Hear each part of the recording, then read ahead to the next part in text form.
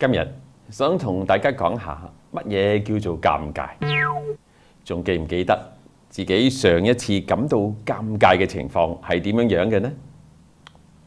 唔使感到尷尬嘅，你覺得尷尬未必係因為你做錯咗啲乜嘢，對方做錯嘢都可以令你尷尬嘅。比如話見到人哋冇拉好褲鏈，好自然你會感到尷尬。特別如果你係女仔嘅話，添都唔知講俾佢聽好，定係唔出聲好。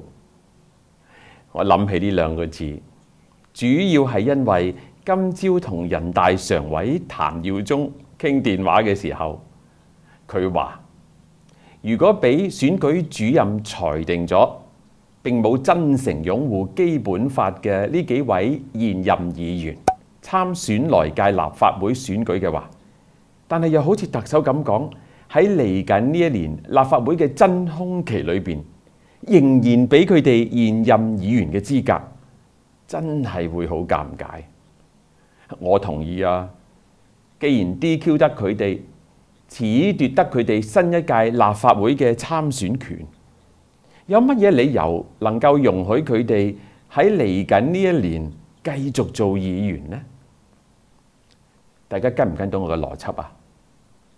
有時我真係唔明解特首嘅邏輯嘅。佢話、oh. 選舉主任嘅決定唔會影響呢幾位議員嘅身份。特首一向好講原則噶嘛，一向都迎難而上噶嘛。佢呢個睇法都冇解嘅。如果有困難嘅話，咪攤出嚟咯。好似我上一次話事齋，There is a will, there is a way。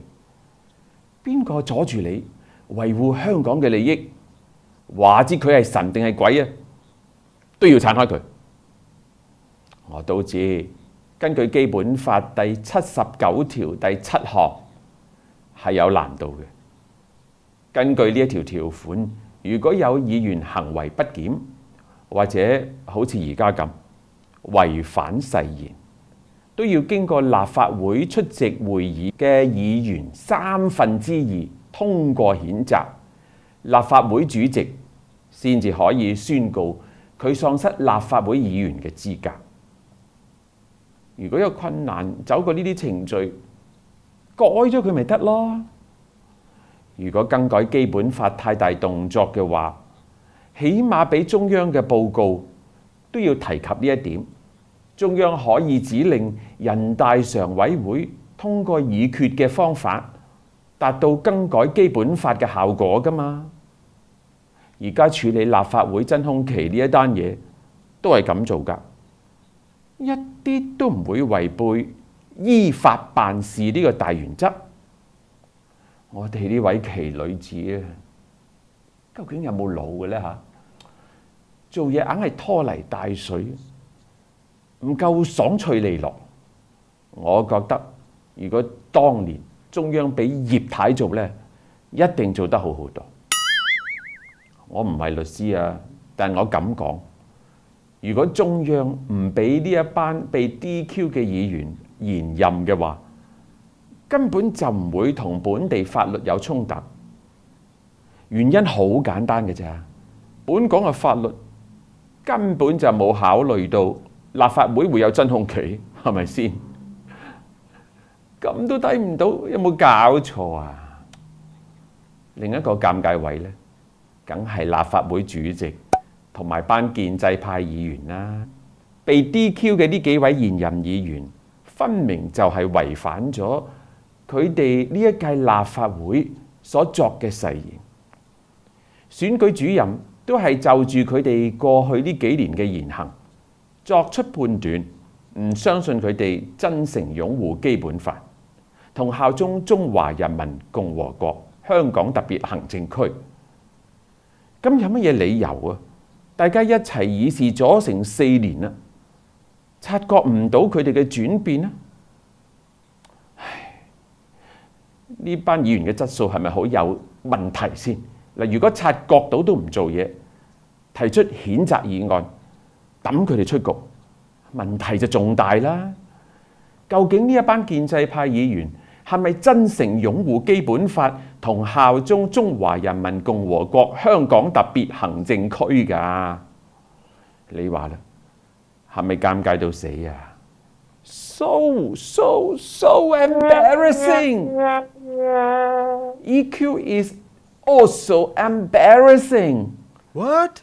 我唔係講緊情緒智商 emotional quotient，我係話郭佩凡議員啊，佢嘅姓氏係用 Q 字行頭嘅，英文名係 Elizabeth，所以大家就叫佢做 EQ。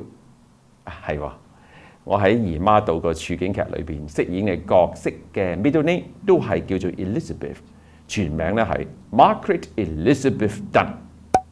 講開又講啊，第二集今日十二點上咗架㗎啦，記住支持下喎。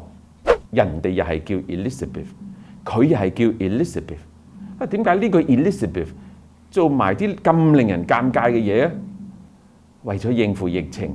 人人都為亞洲博覽館改用做臨時醫療中心，忙到甩碌。佢仲走去騷擾人哋，話不滿亞洲博覽館竟然掛咗美國自由神像嘅裝飾，建議醫管局出通告嚟解釋，仲要立即將裝飾拆走。真係冇嘢可以尷尬得過呢件事㗎啦！醫管局回覆佢。話嗰度已經係醫療中心，為咗避免工程人員受到感染，係唔會要求亞洲博覽館將啲裝飾拆落嚟嘅。醫管局仲講多句，話亞洲博覽館本身就係用嚟做展覽同埋演唱會嘅，而家將佢哋變成社區治療設施，係暫時性嘅啫，為咗確保感染受到控制。係會盡量減少改動，仲有啊，最緊要嘅就係之後神像呢啲咁嘅裝飾係人哋本來有嘅裝置嚟㗎，叫得做亞洲博覽館，梗係有啲國際性嘅裝置㗎啦。郭議員話：因為收到市民嘅投訴先至做嘢，咁唔係一收到投訴就不分青紅皂白去做嘢㗎。真係令人覺得尷尬。我以前喺 TVB 工作嘅時候，都收過唔少投訴㗎。其中一個呢，就係話夏慧姨一出鏡，個觀眾嘅 BB 就喊，覺得佢個樣好得人驚，唔好再俾佢出鏡。咁唔通我又真係走去跟進啊？呢個世界真係有啲人會傻成咁嘅。稍微用下腦都知道，唔應該喺呢個時候啊，為人哋添煩添亂㗎啦。何況小朋友都知道，嗰個場館本來就係要嚟做乜嘢㗎啦。你話尷唔尷尬？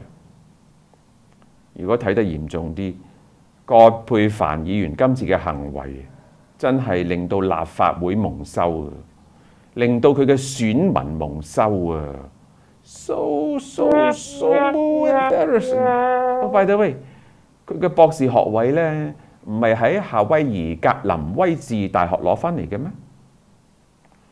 咁外國人唔好去美國攞個學位啦，又多個官旗洋服代言人，講一套做一套。